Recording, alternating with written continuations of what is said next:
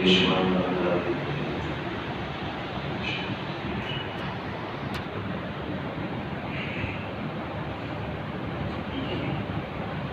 الله والحمد لله والصلاة والسلام على رسول الله وعلى آله وصحبه أجمعين أما بعد عن وعيل بن حجر رضي الله تعالى عنه قال صليت مع رسول الله صلى الله عليه وسلم.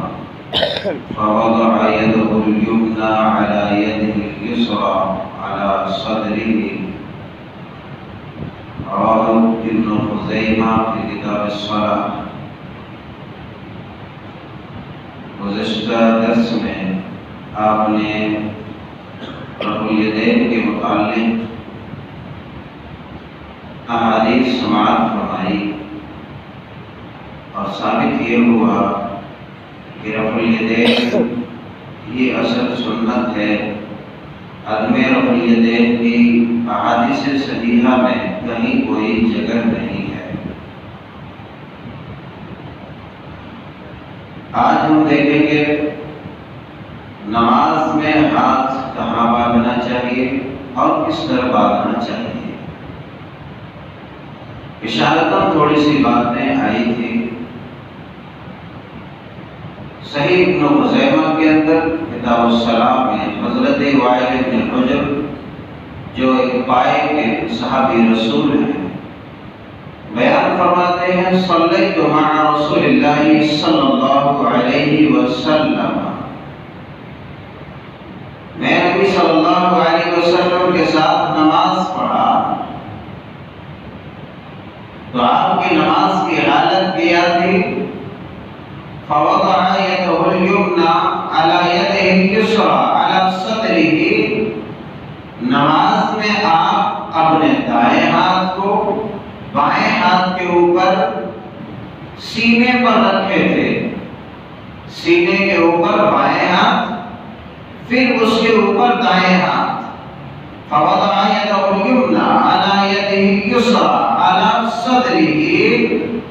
آپ کو دیکھا گیا کہ آپ نماز میں ہاتھ سینے کے اوپر باندھے ہوئے ہیں۔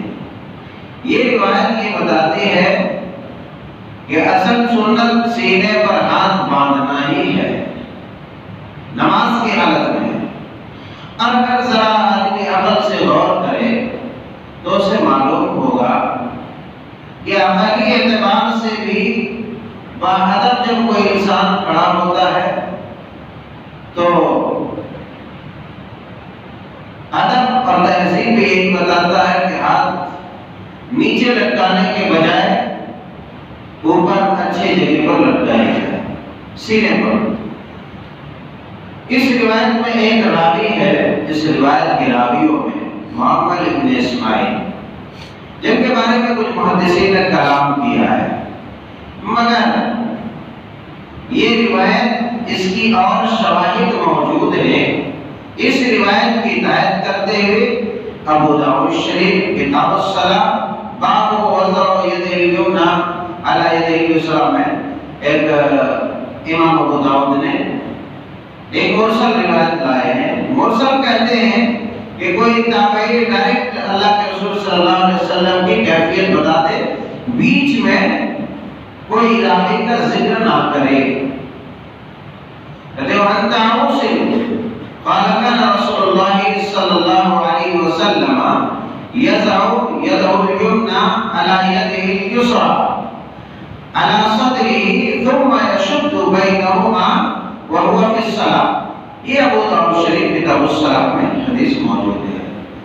حضرت جناب طاؤس بیان کرتے ہیں کہ نبی صلی اللہ علیہ وسلم نماز میں ہاتھ اپنے بائیں ہاتھ کے اوپر، دائیں ہاتھ کو، اور پھر دونوں ہاتھ کو سینے پر رکھتے سینے پر پہلے بائیں ہاتھ، پھر اوپر دائیں ہاتھ یعنی اوپر دائیں ہاتھ رکھتا اور دونوں ہاتھ آپ کا سینے کے اوپر رکھتا۔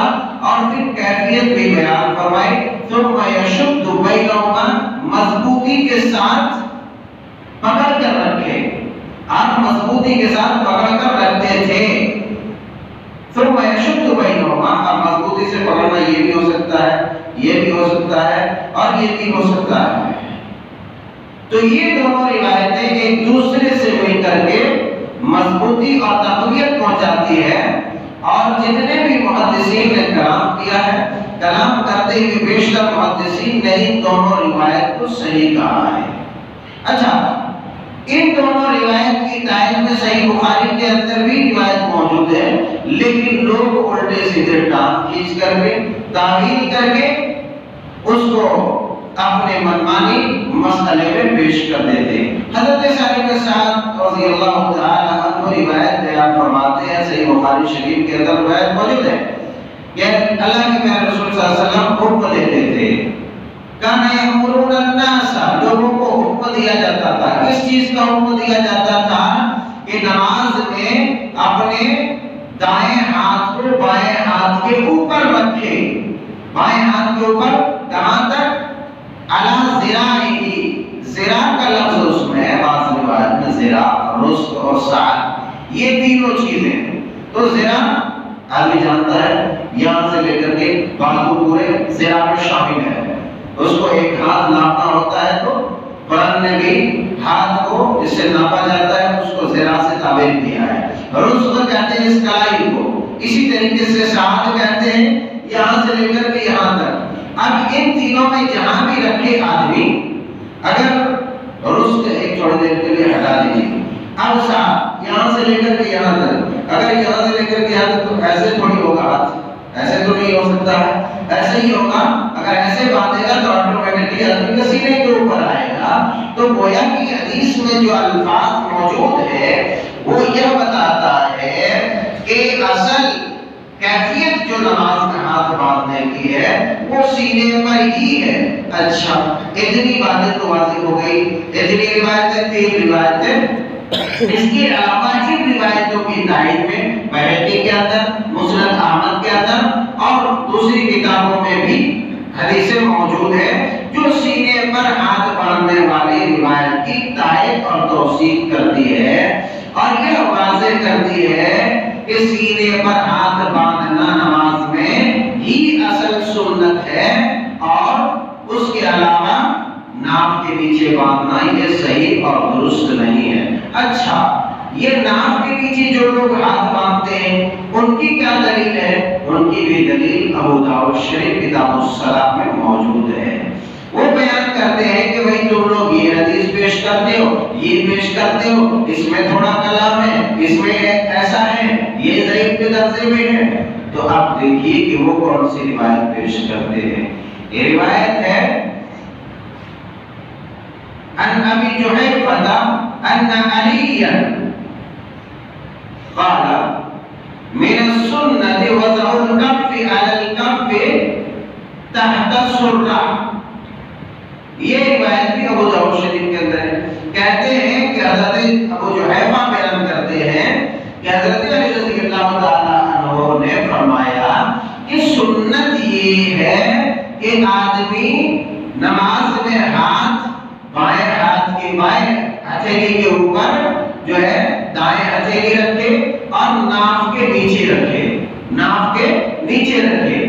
بائیں ہتھیلی کے اوپر، دائیں ہتھیلی کو رکھے اور ناف کے نیچے رکھے اس روایت کو بیان کرتے ہوئے خود امام ابو داؤد نے اور دیگر محدثین نے امام احمد ابن حنبل نے بھی صراحت کرتے ہوئے بالکل صاف اور واضح لفظ میں لکھا ہے کہ اس روایت کے راویوں میں ایک عبد الرحمن ابن اسحاق الواسطی موجود ہے جو بالاتفاق ضعیف ہے جو بالاتفاق ضعیف ہے اسی لیے یہ روایت ناقابل حجت ہے، یہ ناقابل عمل ہے۔ اور دور جانے کی ضرورت نہیں ہے۔ ملا علامہ عینی حنفی رحمہ اللہ علیہ بھی اس روایت کی، اس روایت کے اوپر تبصرہ کرتے ہوئے، جرح کرتے ہوئے لکھتے ہیں کہ یہ روایت محدثین کے نزدیک بالاتفاق ضعیف ہے۔ اس کے علاوہ کئی حنفی علماء نے محدثین نے تو اس روایت کو بالاتفاق صحیح کہا ہی ہے۔ تو گویا کہ یعنی جو بھی روایتیں یہ بیچارے لوگ ٹٹول کر لاتے ہیں، وہ روایت کسی بھی ناحیے سے صحیح ثابت نہیں ہوتی ہے۔ اور اصل سنت یہی ہے کہ آدمی سینے کے اوپر ہی نماز میں ہاتھ باندھے، دائیں ہاتھ کو بائیں ہاتھ کے اوپر سینے پر رکھے، روایتوں میں ہے مضبوطی سے پکڑے، کلائی کے اوپر کلائی رکھے، ہتھیلی کے اوپر رکھے، یا پھر پورے ہاتھ کو بازو کے اوپر ایسا رکھے تو وہ کہ ہر اعتبار سینے پر ہی ہاتھ بنتا ہے، ادب بھی یہی کہتا ہے اور سنت بھی یہی کہتی ہے۔ اچھا بات لوگ کہتے ہیں کہ ناف کے اوپر، تو علماء نے اس میں تدریج دیتے ہوئے بیان کیا ہے کہ اگر آدمی ایسا ہاتھ باندھتا ہے، ایسا ایسا ہاتھ کا اگر کچھ حصہ نیچے رہ جائے اور وہ یہ کہے